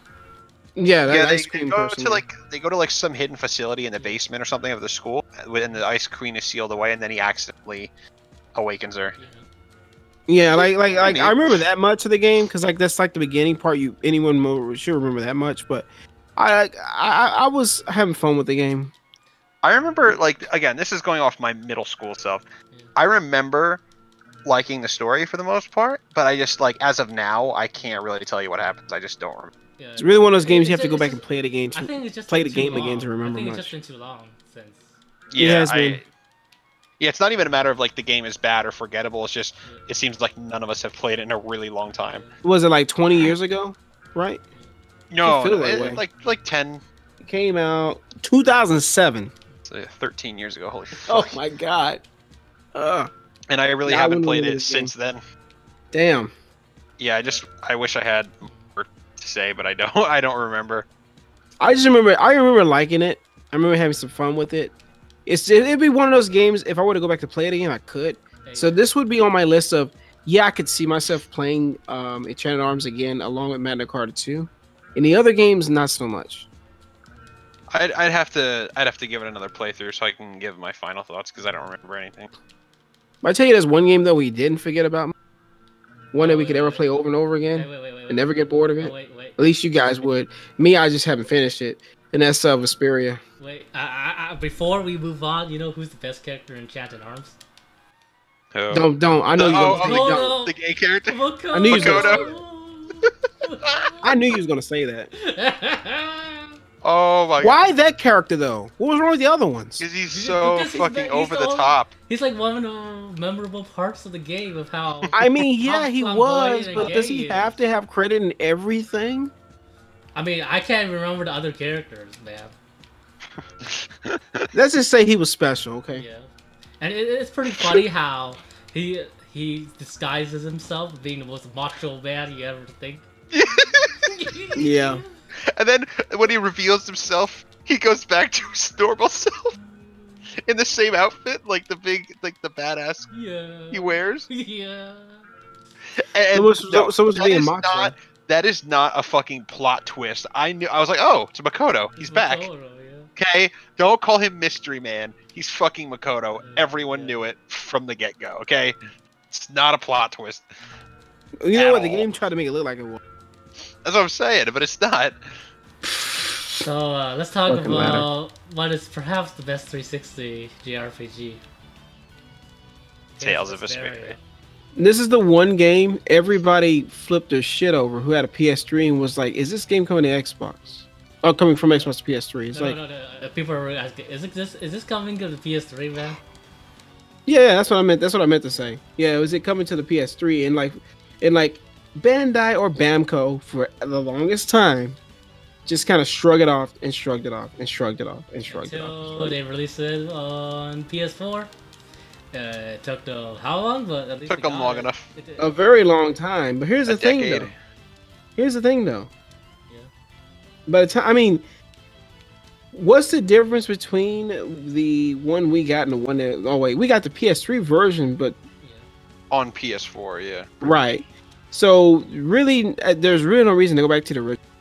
But if let's just say, for instance, this game didn't exist on PS4 because it didn't at one point, yeah, this is like the must-have game to play on Xbox because it literally was one of the best games on it. It was, it really was. It was one of the best JRPGs on it. There's no questioning that. So, what can we say about Vesperia that hasn't really been said by us? the visuals in Vesperia, it's just beautiful, man. Mm-hmm. It's like Beautiful even- cel-shaded, It's like uh, still the best graphics. looking. It's still like the best looking Tales game out there. Eh, yeah, yeah. It, it definitely had a nice uh, color palette So- to it because cel all the other games that had a back like a washed out gray and brown color palette. Uh, Eternal Sonata in this game had a really good color palette, so I was pretty happy about that. The cell shading just looks beautiful in this game, man. Especially when you get to Halure, which is, and you see the flower petals. It, it, it- Mhm. It's just this game is just uh, drop dead gorgeous. I- I'd honestly say it's probably at the time of this video, it's like the best looking Tales game. Still, That's Wow. until Tales of Arise comes out. until uh, Tales until Tales of Arise. Tales of Arise looks gorgeous, but like I just feel like like the Xillia games as they- they're great games, but like visually they're just kind of average. And the yeah, Vesperia they just has with really the cell shading, impressive. The art style and this and the character design and the of Vesperia, all of that is just a gorgeous looking game. Okay. The combat system, uh, this is probably the most evolved version of the Symphonia style combat system out there. Uh, Yeah. it's robust. I would say it's Each it's definitely the best Yeah. best of that style. Yeah, each character is uh, tons of fun to play. Uh, there's lots of arts combinations. There's a lot of depth to it in terms of the skill system, uh, altered arts. It's just a Burger really starts. well. It's just a really well put combat system altogether. Now, it's not my favorite combat system, but I can't understand why people would consider Tales of Vesperia to have their favorite combat system.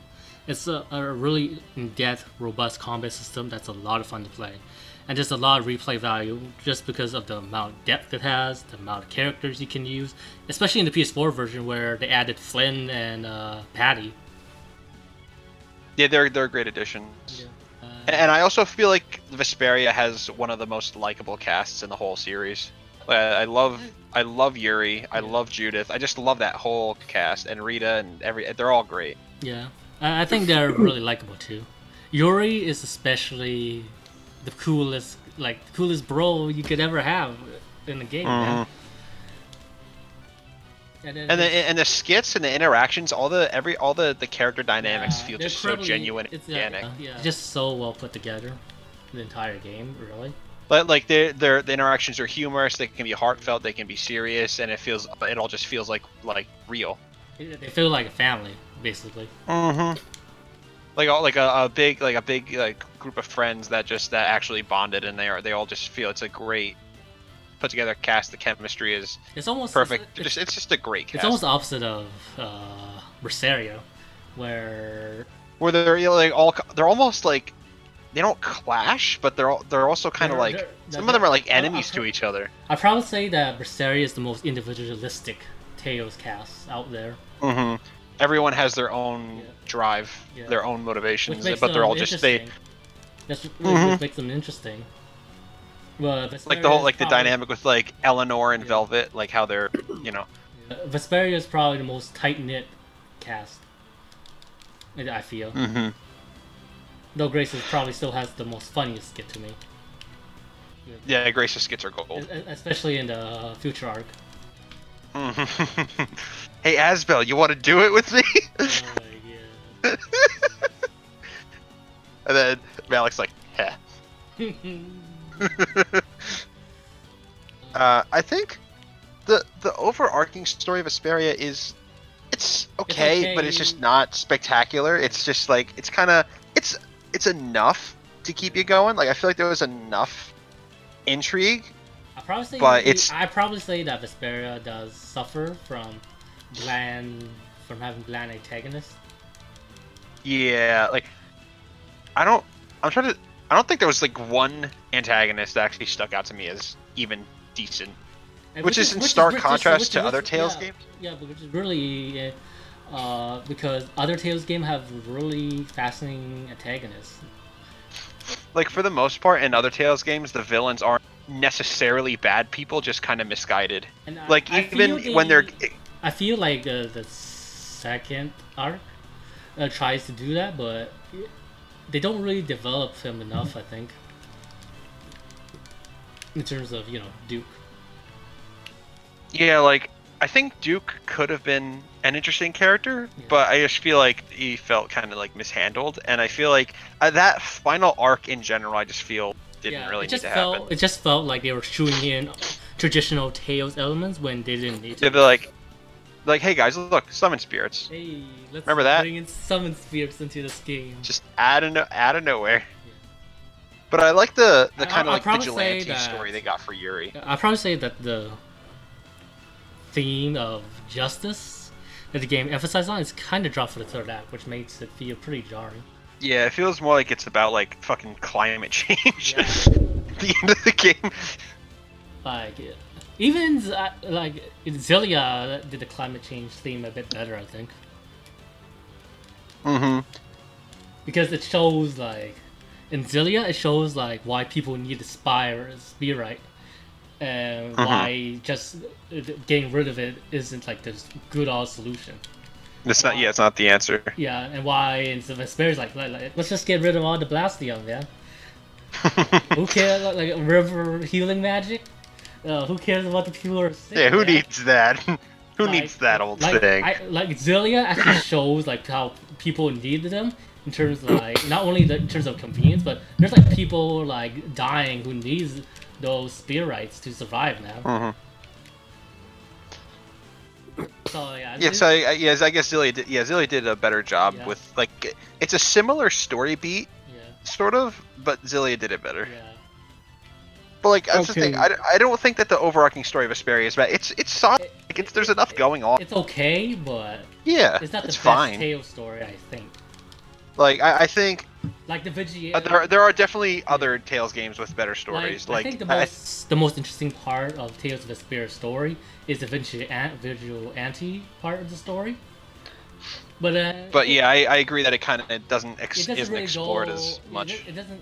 It's, it's, it's not explored as much as probably would have wanted hmm because uh, I thought uh, you like that there'd be actual punishment for the vigilante actions, but it's sort of just peters out. They they allude to Yuri like being punished, especially with like the whole thing that was really well done was was with Flynn and when Flynn like confronts Yuri about it, like when he, he But, figures it out, but it just doesn't yeah. doesn't like reach really reach a satisfying conclusion. I I do feel the problem with Flynn in that story is that he's never really proven right, kind of, hmm which felt But I, which made I- I think he was- pig-headed. So yeah, I I think that overall that he was a pretty good foil for Yuri though. Yeah. he's a good foil, but I just wish that Yuri's vigilantism got like more consequences to it to make the story more Mhm. interesting. Because it just make it feel like Yuri's right all the time. Right. Which I mean, you I mean you, you could debate if Yuri was in the right or I mean, those guys. I'm not gonna like I'm not gonna say what happens, but those guys were fucking shitty. Yeah, They were super shitty. But can you imagine if he actually like uh killed somebody found like that was actually doing his job and not just like some uh townspeople just complaining about them? Mm-hmm. Like that would have been a really dark direction. Yeah. That would that would have been really interesting. But I think that Vesperia makes up for it by just having like a really amazing cast of characters. But like overarching story, I think that like like Tales of the Abyss is much better in that regard. in terms- Vesperia is better. Yeah. Like Vesperia's strongest point to me is its fantastic combat system, its visuals, uh, the voice cast is especially great, and uh, the cast of characters is just the most likable cast of characters you can find in a Tales game. But story is not its strongest point. It's it's kind of it's kind of forgettable. Oh yeah. Oh wait, wait, just one more thing. Uh, do, you- do you guys remember Tales of Vesperia's uh, side quest? Uh, Do you like I- time-based side quests, man? If you didn't go Well- back to this part, too bad for you. You don't get to do the side quest. uh, which oh I don't remember which part. Which what, what was that? There, there's a bunch of time-based side quests in Vesperia. Oh, I hate fucking I hate Missable. Yeah. In this, this too, but Vesperia is pretty much rampant with it. They Mhm. uh, they only uh, they only stopped doing that at like uh, Xillia. which is like way too little, too late. Yeah. And Xillia 2 has like tons of side quests, but they all suck. So, uh, any thoughts on this Vesperia? Oh, oh, one more thing. I, I think, Yeah. I, I think. Oh, I do want to say one more thing. Yeah. Uh, it's not the best, but I think that Vesperia soundtrack is actually pretty good, all things considered. Like for a Toy Soccer Bus soundtrack, I think it's pretty good. Tragic Decision is probably the most memorable track for me. Yeah, Mhm. yeah, I think it was the most memorable too. Uh, do you have Well, anything to add? there's a reason I'm there's a reason I'm qu- uh because just kind of kind of what what uh Bison sent earlier with everything going on right now with the whole um curbside and orders and stuff. Yeah. You know, it's it, picking up your pre-order for games um during this this pandemic is kind of interesting yeah. because it could affect a lot of things. But anyway, yeah. Uh, that, that, I'm sorry, it kind of threw me off for a second. Yeah. Well, I was Uh, gonna say this though, since I was since I didn't say much earlier, I was gonna say about Vesperia that I haven't finished the game. I, I've gotten kind of halfway. Through. The reason I haven't finished it is because I was still playing other Tales games at the time. And every time another one would come out, I would try to play that one. And I'm, I'm kind of guilty. I don't the the, the Tales games. I'm, I've always kind of been finishing all of them because I've yet to still finish Symphonia 2 and then this game and Graces F. So, yeah. And Sword saying you need to finish it now, right, Sword? Yes, you do. Yes, you do. I Like, knew. It's not. It's not my. Oh yeah, and I haven't finished game. Berseria either. No, Sword's like, no, no, no. Okay, Berseria. Dude, you gotta get on that, man. Yeah. Yeah, people keep telling me I need to. People, just, uh, Shintai told me to drop the game like a hot potato. Play that one instead. It's definitely better than Zestiria. Yeah.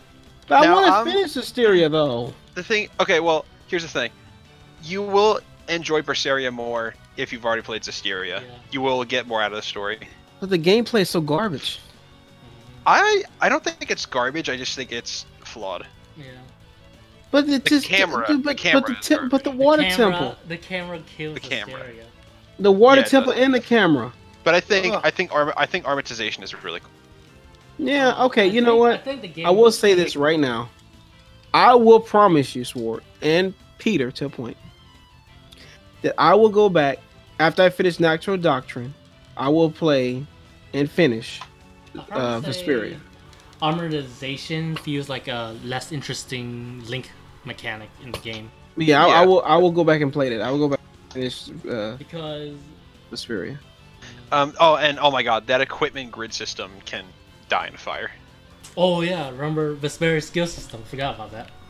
Yeah, I mean that was pretty good. I mean it's It was basically Final it's just Final Fantasy Nine, Yeah, Final Fantasy Nine. That's what I've heard anyway. but it's fine. It's good. It's pretty You know, has a nice sense of progression. It, it, allow each weapon to feel a bit more purposeful than just being like Mhm. a stat boost. And I do like how so that was nice. I like how significant each skill is in the game. hmm Like I think Vesperia is the best implementation of skills the series. Either that or Yeah. the Xillia games. Because uh, Vesperia, Zestiria didn't do, don't do skills well, man. No, especially. Because- Like because- Berserius. Because Huh? most of the skills in Vesperia like actually changes your playstyle. Why in Zestiria Vesperia it's just only stat boost, which is nice, but it doesn't feel They, they don't feel significant. Yeah. Yeah, it's like I oh, guess you can. I guess what do- you're trying to say is in this game, it feels like it's Feels like it matters. Upgrading. yeah. uh, but yeah, great game. And I guess that's Yeah, I wish I could say more about uh, uh, Vesperia, man. I just, I just didn't play enough of it to really say, you know, more about it or have anything really to say about it. I just know that it, the well, what I played of it, I like it. I like, I like Vesperia. So So that's every Xbox 360 RPG I can't think of. That's at least or exclusive. JRPG. Anyway. Hey man, hey man, we can talk about Fable Three, Oh my god. hey, where's Battle Fantasy? No, please. Fantasy don't. Star Universe, man. oh yeah, I forgot about that. Yeah. That, that doesn't. I never- I never 'cause that was- played that it, was on, so that was on play, that was on PlayStation 2 first, Yeah, so it doesn't count. yeah. Yeah. Um. I have a lot of fucking things to say about that though. Uh, But overall, though, as far as JRPGs, I think that's it. Because that, that I can't think of any others that came out for it. I think that was all overall, I think it was interesting period of time during because that, that like in terms of JRPGs, those were it basically. Mm-hmm. Yep. and and they're not And- oh man, do the you, best. do you guys do you guys remember the time period where we had to wait for Graces F after Vesperia? Oh my Uh, god. Yeah, that was a. There was like yeah, I remember that. was like a four year wait for a to Yeah, we was all excited about when they first Vesperia. announced it. It's like, oh my god! But that wait to get that game was like, But hey man, at least we didn't get stuck with the with the Wii version, which is a Yeah, true. mess. I heard that. I heard the Wii version had a lot of problems though. This is really glitchy for some reason. But what? Hey, but what, when was the transition from us getting the Xbox to PS, uh, the PS3 JRPGs? What was the first game that solidified us moving away from Xbox? Grace's I'm trying to remember the transition of what game it was that kind of. Huh? Yeah, for me it was Graces F. Yeah, I, I think Graces F was the first one. Yeah. That definitely solidified it. Yeah. Overall, It- most of the 360 RPGs were pretty mediocre. I think. But they were Mhm. still they were still nice because at least we had some JRPGs to play through. I will say though, as I said earlier, the the, the three games I would play, well, rather not three, would be uh, Vesperia, Magna Carta 2, and Enchanted Arms. If I had, if I really just needed something to go back on Xbox and didn't have any of my other consoles to play, yeah, yeah, I would. Yeah, Those would be the sounds- sounds three. about right. Yeah, we'd, we'd be here all night if we also in- included Western ones. No, it'd be a ten-hour uh, conversation. Yeah. Uh, like, oh man, Fable. Uh, Oh, boy. Fable. Fable 3 has the worst. Let's make that a whole fucking- nother video for another it- it- time. though. Fable we 2 don't want has to mix. the worst. Don't want to mix another Western The- game. The easiest game in existence. like, It is baby's first RPG. Is it that easy? like, like, yeah, pretty much. you can't die. You you get knocked out. You get right back up and lose a couple of experience points that you can get back very easily. Wait, It was So like there's no that in dying in Fable 2. It was uh, it was the same thing in Fable 2 as well. Yeah, but I feel like, yeah, yeah, no, yeah. Like, it was- Fable, was I think Fable 2 is easier because the final boss in Fable 2, uh, you don't even have to do anything to beat him. Uh, so are we going to start that talking about Western JRPGs now? No, no. I mean, no, when no, I say no, No, no, no, no, no, no. Let's just end it here. Yeah. Uh, Yeah, before we before we get carried away. So, well, that's our first rendition of Sirus Gaming Corner. Hope you guys enjoyed it. Well, hold on. Before you, before we finish, just one thing I want to say. We do have one person who watches our video. Been meaning to mention him. We got a chance. Um, I want to say special thanks to um, give me one second. Oliver Bethel? Bethel. Uh, he's one of he's a follower on uh, Twitter. Follows me on Twitter. Um, and he follows a couple other people here, if I'm not mistaken. But yeah, he actually does watch our videos. So I did want to give him a shout out personally. So I do appreciate all the time you have watched us, all of our channels. He's actually have seen a couple of our videos on other channels. So Oliver, appreciate it, much appreciated, man. I, I Appreciate appreciate you man. following us. Appreciate you, man. So that's all for today's Sirus Game Corner. Stay safe out there, guys, since it's a pretty scary world out there now. Just wash your hands, wash your hands, and don't go out unless you have to. Take care, folks.